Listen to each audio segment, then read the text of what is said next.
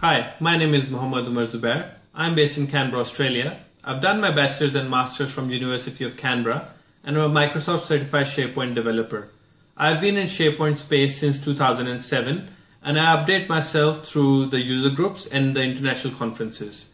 In addition to SharePoint, I've got a very strong BI reporting and database background and I always believe in giving back to society. Hence, I have organized this webinar on the new SharePoint 2013 search. I hope you benefit from it. So see you there.